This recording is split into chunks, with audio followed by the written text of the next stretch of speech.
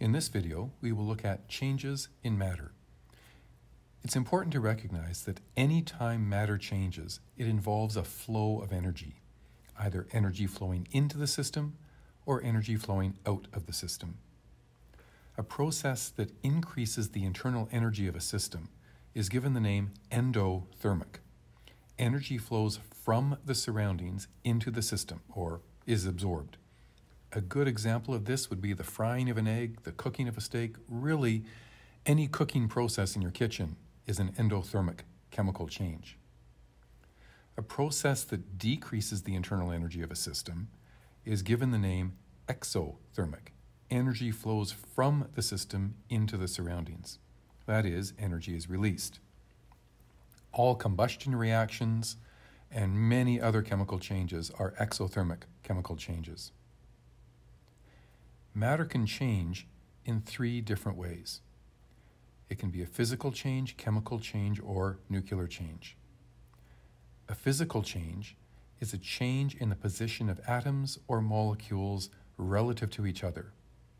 A good example would be melting an ice cube. A chemical change involves the change in the arrangement of electrons in an atom or in a molecule. Once again, a chemical change could be cooking a steak or burning a candle. A nuclear change involves the change in the relative positions of baryonic particles in the nucleus, also known as protons and neutrons. A nuclear fusion or fission reaction would be an example of a nuclear change. Of the three natural processes to change matter, Physical changes involve the lowest energy change or the lowest energy flow. Chemical changes tend to be much more energetic, and nuclear changes are the highest by far. In this course, we will deal primarily with the chemical changes, but let's look at the physical and the nuclear just to clear them out of the way. The most common example of a physical change is a phase change or a state change. These are by no means the only kind of physical change, but they are the most commonly discussed. Phase transitions occur when a flow of energy changes the arrangement of atoms or molecules. In the diagram below, the energy increases from left to right. The internal energy of a system will increase if it melts, boils, ionizes, or sublimates. That would be moving from left to right on the diagram. If you move from right to left on the diagram, the internal energy of the system decreases for any pure substance. That would involve deposition, deionizing, condensing, or freezing. Other physical changes could be as simple as ripping a piece of paper or picking up a suitcase and carrying it across the room. Those are, in fact, physical changes because you've changed the position of molecules or atoms relative to other molecules or atoms. Now let's look at nuclear changes. A nucleus can be changed in three different ways fusion, fission, and radiation.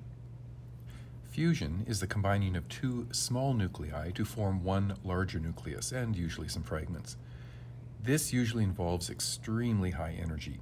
Examples would be our sun and hydrogen bombs, which undergo the fusion between two hydrogen atoms. Some balanced fusion reactions include if carbon 13 fuses with nitrogen 14, it can produce aluminum 27. Note that the masses add up 13 and 14 make 27. And the protonic charge adds up as well. 6 and 7 equals 13, therefore, this is now aluminum. Deuterium, a form of hydrogen, confused with tritium, also a form of hydrogen, to produce helium-4 and a fast neutron.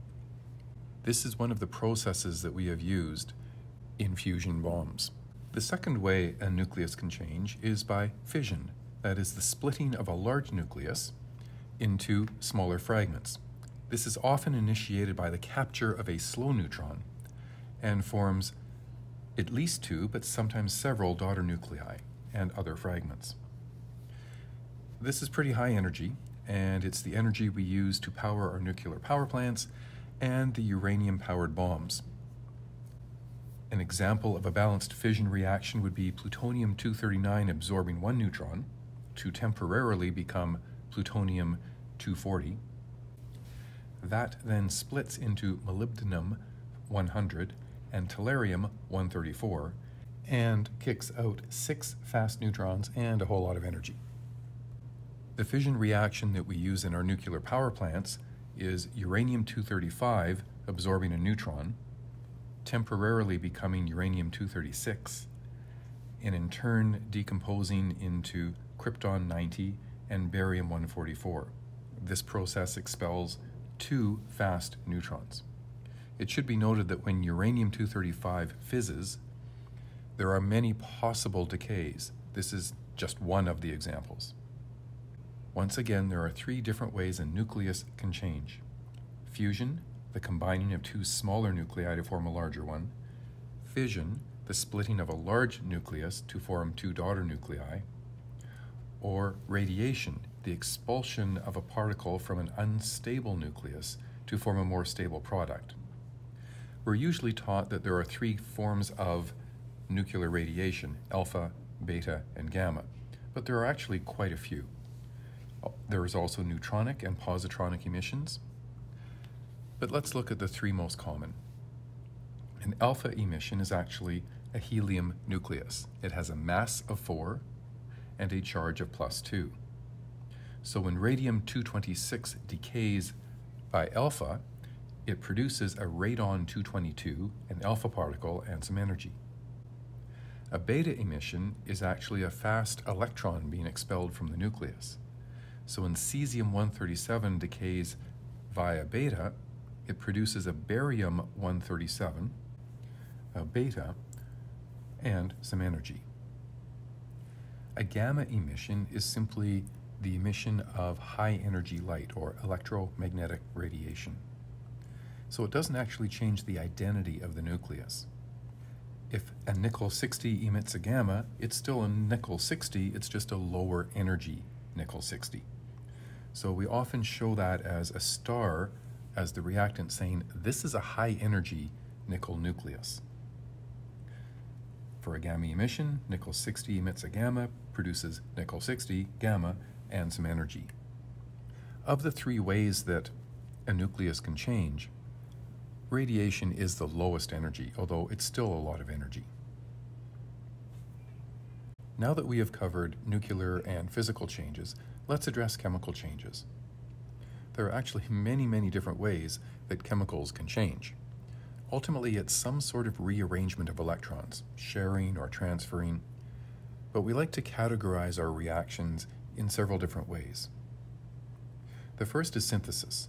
It's when two species react together to form a single product. The reverse of that is decomposition, when a single reactant breaks apart into forming two or more products. The third kind Single replacement. This is when an element reacts with a compound to form a new compound and spits out one of those elements that was in the original compound. A double replacement. Two compounds exchange anions and cations to form two new ionic compounds. A subcategory of a double replacement is an acid base reaction. When an acid, that is a compound containing H, reacts with a base, a compound containing hydroxide, to produce a salt, which is simply an ionic compound, and water. The sixth category is combustion, and that's a reaction with molecular oxygen to form only oxides as products. It can be metallic combustion to make a metal oxide, or another example would be a hydrocarbon combustion, where something like propane reacts with oxygen to produce carbon dioxide, and water. Let's look at a few examples of those six categories. The first category is synthesis. That is, two species reacting together to make a single species. In this case, we'll take two species in the elemental form, solid metallic magnesium and gaseous oxygen.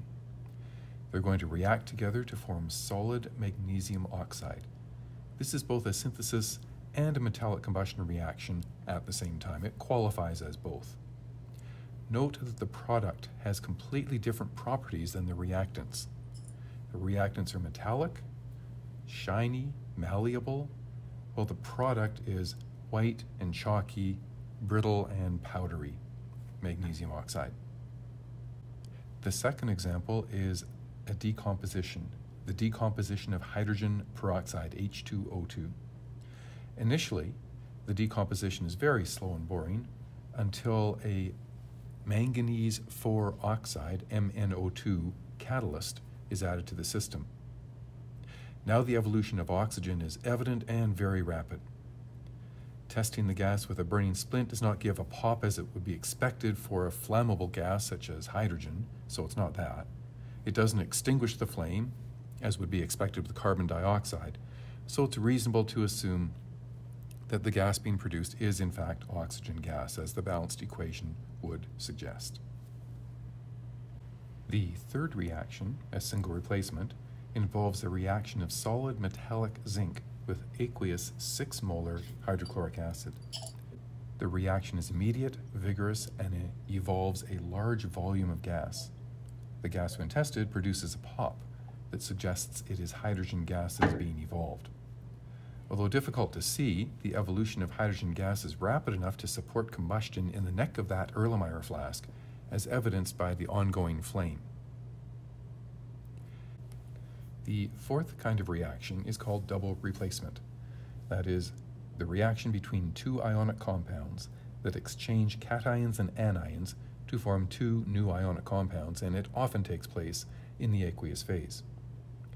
In this example, I'm using aqueous copper 2 chloride, characterized by that blue copper 2 plus aqueous ion, and reacting it with the clear, colorless sodium hydroxide solution. The two products of this reaction are pure table salt, which stays in solution because it's soluble, and the low solubility copper 2 hydroxide that forms a gelatinous precipitate which does settle quite quickly. After a few moments, the suspension forms layers with a variety of blue colors in them.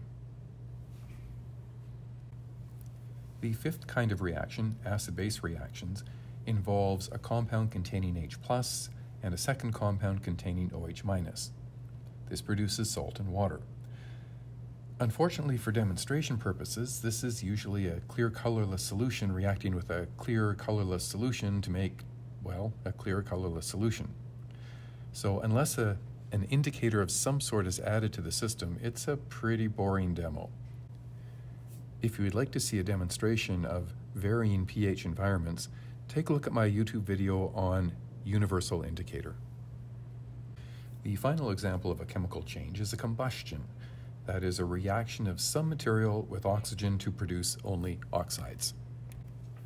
For my combustion demonstrations, I've chosen three substances considered to be very safe, but when powdered and blown into the air, can be quite explosive. In my first two examples, I'm blowing sawdust into the Bunsen burner flame. Simple wood, but in the form of airborne dust, it can become explosive. Secondly, cornstarch, a simple hydrocarbon found in most kitchens, but when blown in the air, can produce a pretty nice fireball. And finally, iron. Simple iron filings react very rapidly in the Bunsen burner flame to give some very distinctive square sparks and produce iron oxide. In all three cases, the sawdust, the cornstarch, and the iron, the products are oxides. If you enjoyed this video on changes in matter, please like, comment, subscribe to my channel, and tell your friends. Please note I have an additional video dealing exclusively with the six types, complete with more balanced equations and demonstrations. Hope to see you soon in Chemist Corner.